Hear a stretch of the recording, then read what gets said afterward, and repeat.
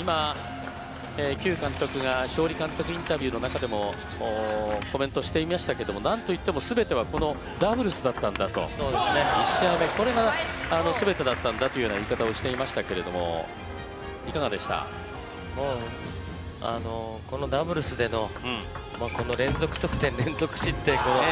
流れが右へ行ったり左へ行ったりという中で、はい、やっぱりこう水谷、大島の思い切った攻め、えー、やっぱここが最後、あの勝利をものにしましたね。あそうですね、はい。まあ、特にこの T リーグの中ではこのダブルスに限って言えば木下マイスター東京は5割を切っていただけにね勝率がね、えー、その点では、まあ、これで勝ったということが大きかったというまあ、その木下マイスター東京、まあ、TT 埼玉は逆にここまで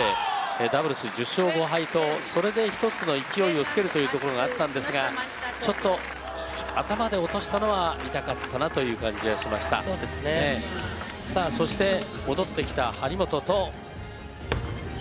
うん、平野の対戦。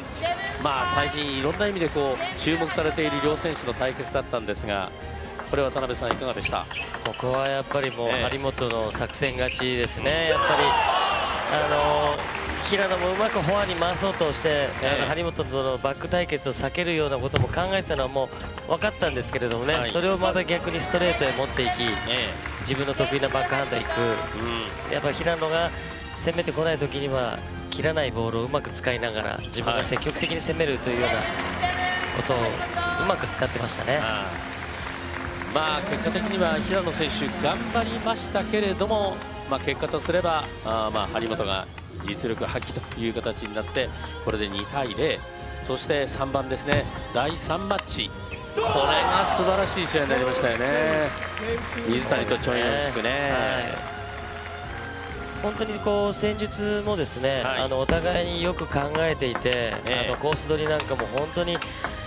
う僕も家に帰ってからもう一回これ見ようかなと思うぐらいすごい勉強になる試合でした。えーえー、ただ、はい。でどっちが勝ってもおかしくなかったと思います。あそうです、ね、ただその試合を結局ものにするのが、はい、多分水谷隼なんですね。はははい、やっぱりもう彼のそのやっぱりこう勝利にかける執念ですとか、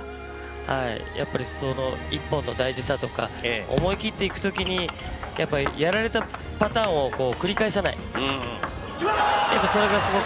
あの最後、まあ、逃げ切ったというか勝ち切った。え